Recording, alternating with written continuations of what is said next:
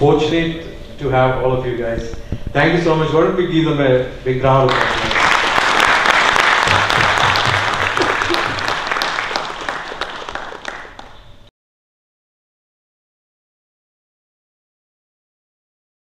to your life and to others' life by taking pictures. Okay. So, uh, how many of you are commercial photographers here? What do you mean commercial? I mean, who Making money who make money, make a living from photography. okay, quite a lot of them. So, uh, I assume half, more than half of you don't make money from photography. So, how many of you can raise your hands if you just take pictures for yourself? Okay, quite a lot of you. Okay. So uh, let me ask you this question: What do you do with your pictures? What do you do with your pictures? You post on social media, and you get some likes, and that keeps you motivated to, you know, keep on going, and you invest more on equipments. Yeah. So that's how life goes on, right? So I am a travel photographer. Okay, so my my dream of life is to see India. So I have traveled quite a lot of uh, so I've been shooting since about 25 years. I started with a film camera, and uh, and then when I was in college, I got my first digital camera, Sony CyberShot, and then uh, when I got my first job, I got myself a DSLR, and and then I've been shooting uh, traveling places. So I was into an IT job for quite a long time, and uh, and in between I was going around taking pictures and uh, and shooting. Okay, and. Now since I'm a travel photographer, I want to take a, I want to capture the flavor of the place. It can be a landscape, it can be a, the culture of the place or festivals and and of course people. So people is something which I always avoided because I was very uncomfortable when I want to talk to people. It was very difficult for me to go and ask people, can I take your picture please? So that was something which I've been avoiding for about five, five years of my photography does not have any portraits at all. So I was shooting only things that were dead. Like, uh, I mean, of course, I can't say landscapes are dead, but uh, probably monuments, uh, maybe uh, going in the hour and taking those pictures. But realized that if I'm not shooting people, then I'm losing out a lot. Because people constitute such an amazing part of the culture of India. We look so different. If you go 500 miles, you will see that we look so different. We dress so differently. Uh, we speak. We don't speak the same language. Okay, so so then I I kind of uh, got myself, you know, uh, getting little courage and started improving and slowly. Not very confidently going and asking people. So some people will say, okay, take my picture. Some people would refuse taking a picture. And then uh, all of a sudden I got all these powers to shoot people. You know what happened? I got married. okay? And uh, fortunately my wife is also a photographer.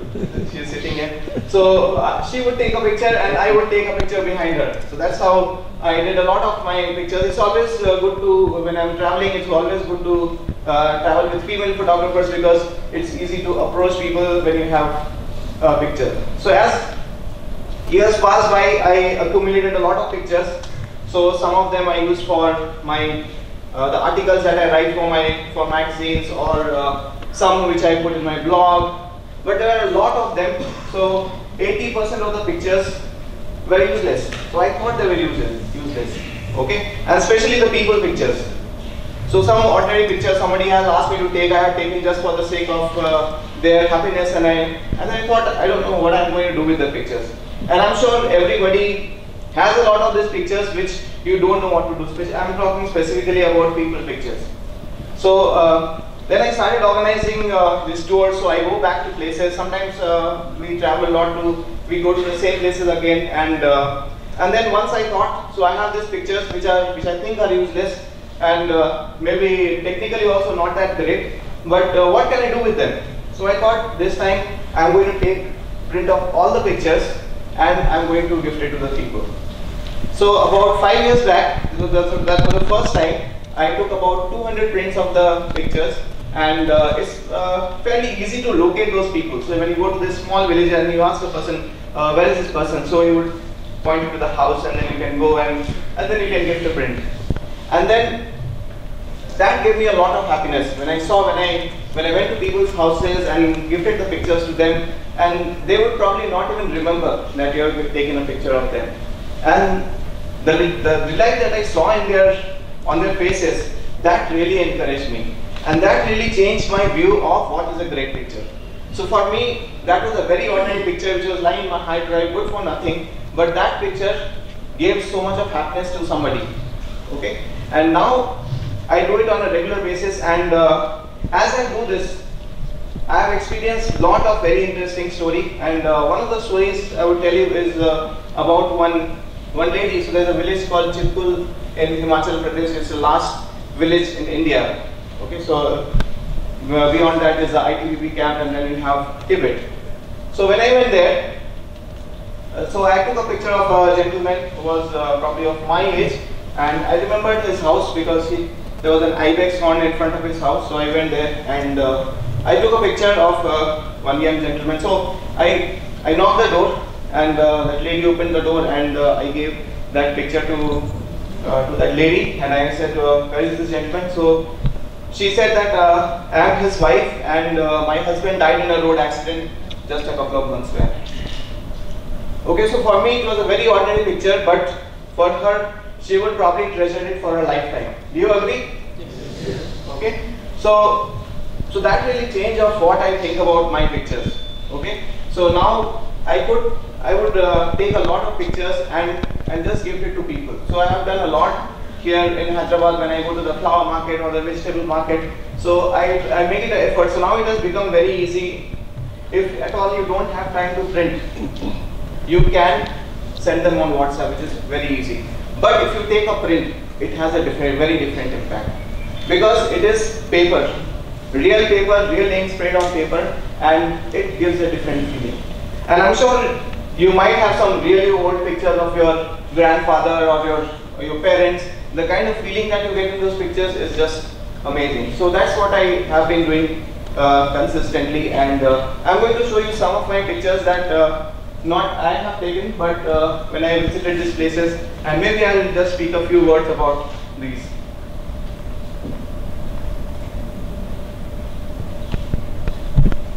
So this is in a monastery uh, in Zanskar. So this is in Karsa. So Karsa village is uh, the festival happens and uh, this guy was not ready to not uh, allowing me to take a picture but he was so delighted when he saw his picture when I went after a couple of years and uh, I gifted him a print. So he was really very happy to see this. So this lady I, I shot her about uh, seven or eight years back. So those days uh, she used to work in a field. Uh, this is in a village called Kibber where uh, our friend Ismail used to go for these snow leopards. So she used to work in a village and and and she, I took her picture in a village where she is working in the fields or probably coming back from the fields. And now she is uh, no more physically fit to work in the field. So uh, she just sits at home. She just prays and uh, living a, a life of a old Buddhist monk. And uh, I went to her house. It was a little difficult to locate her house, but I went, and uh, and they were so happy to see us because nobody comes to visit. I mean, of course, they have the family members, and uh, her uh, daughter was so happy that uh, she gifted us. You see, these uh, these these people, they are not very rich, but they have a very big heart. So they gave they gave us small socks. Okay, so we don't have, have kids, but so we, we gifted it to our my brother's daughter. So they gave us small socks for the kids. So there was one more occasion where. So this is the post office, the highest post office in the world. So this this is the postmaster and uh, his son. So lot of I have just uh, lot of these uh, situations where you know people have uh, and this is another way to connect to people when you go back to the places next time and uh, you you talk to them you will see that you make friends very easily so the places where you don't get access to now they are like your family members they invite you home they will not let you go without drinking a cup of tea. So that's how the change it brings when you can bring a print okay?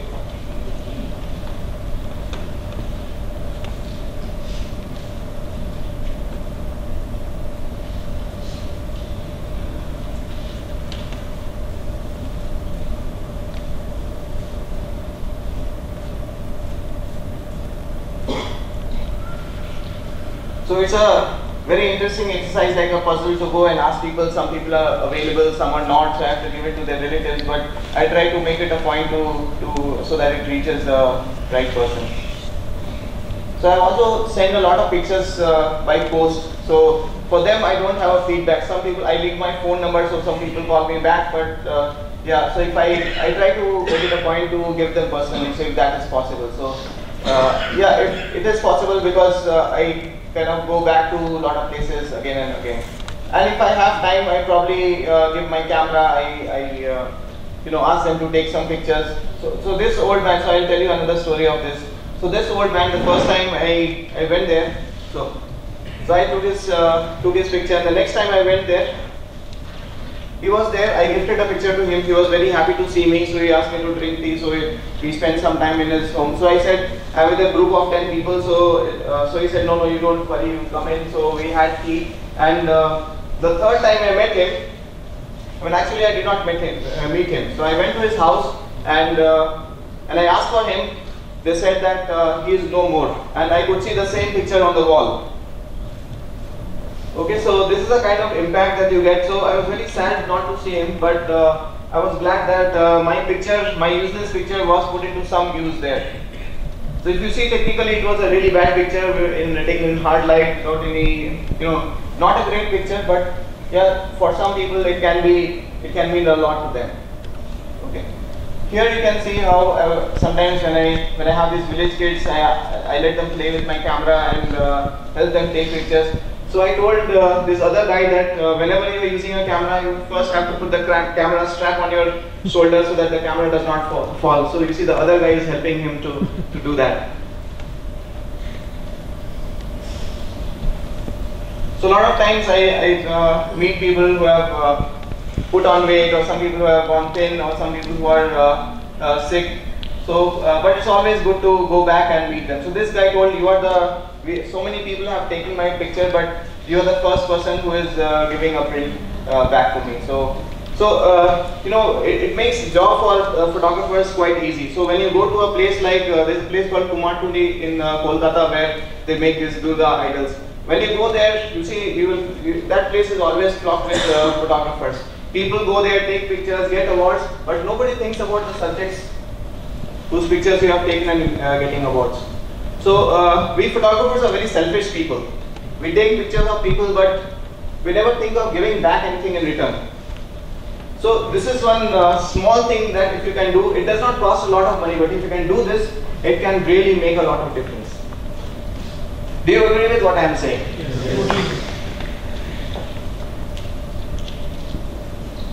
So uh, this Turtuk, there's a village, there's a last village in India that's called Turtuk. So it was one time in Pakistan and uh, there was a war and overnight it came to India. So the population is predominantly not the Buddhist people, they are uh, Muslim. They, they, belong to a culture called Balti. This whole place is a part called Baltistan. And uh, so those days when I went for the first time, so people were uh, you know very open and very friendly. And now it has become very difficult because more tourists are going and the culture is changing. And uh, but it is still very easy for me to connect to them because every time I go there, I bring pictures for them. So, so all the kids, you see, it's always a fun. So people come with me. So it's like a small uh, festival in the village where I am going, and then uh, people, uh, these kids are coming after me and uh, escorting to the places, uh, to the people whose pictures belong to.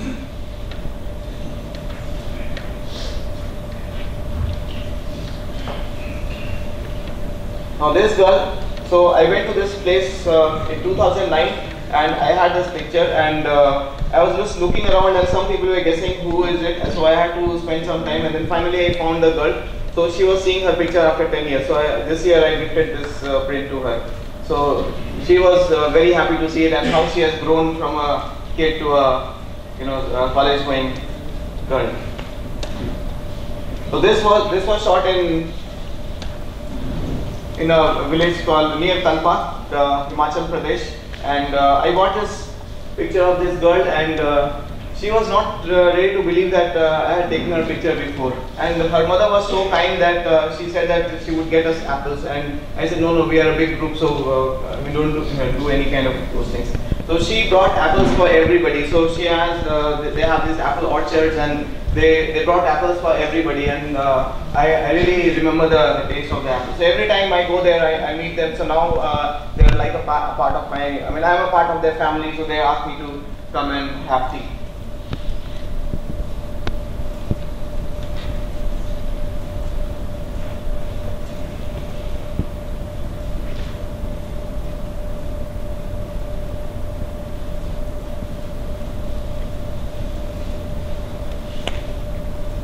Can we have the light, please?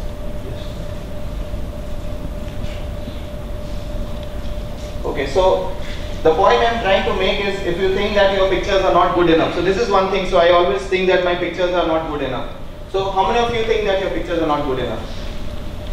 Okay, a lot of us. So uh, one thing I would tell you is that you have to believe that you're good enough.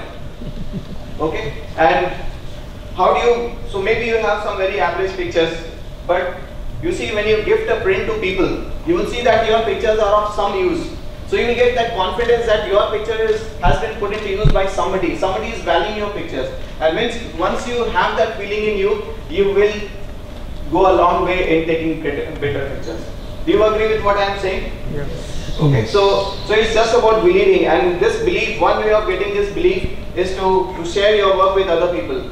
The the people whose work you are, whose pictures you have taken. Okay, that is one way of doing that. So whenever you are taking pictures, if you are uh, not, I mean, of course, if you are also into commercial photography, you can also think about how you can bring a positive change in this world. Okay, so like uh, Vishwendra sir was saying that he is uh, documenting, he has been documenting the picture of rocks since quite some time and how he's using his pictures to, to save the rocks. So there are uh, other ways also in which you can contribute as a, as a photographer. So I uh, work with an organization called Rang De. So they give this micro, it's a microfinance company, so they give, they give loan to these uh, farmers who can't afford a big lakh or they don't need a big uh, loan of say a lakh or something. So, the, so these uh, vegetable vendors, they would, they would probably need a loan of 10,000 rupees. And uh, they, they take money from these money lenders and the interest rate is so high that at the end of the day, all the profit that they make, they have to give it back to them. Okay, so these companies, they uh, provide microfinance to these people. So, so I work with these. So uh, once we did uh, a photo workshop where uh, a photo work where we went to these villages where they have impacted impacted the life of these women, and uh, so we documented the whole thing. We we took pictures spent the whole day with them. We did an exhibition, and uh, we raised a lot of funds from that, which again went to went back to the farmers in different places. Okay, and uh, so in this way you can think about. So today maybe I'm giving you a homework, so you can go back and think about what you can do for others, how you can impact people with your photography.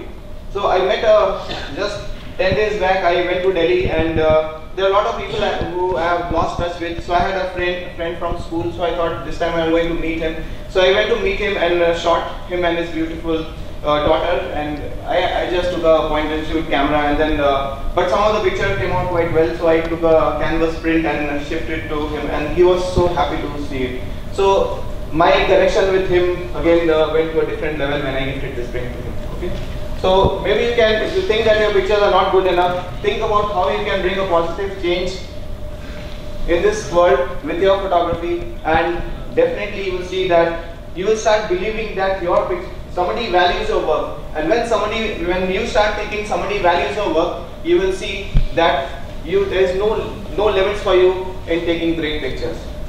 Thank you very much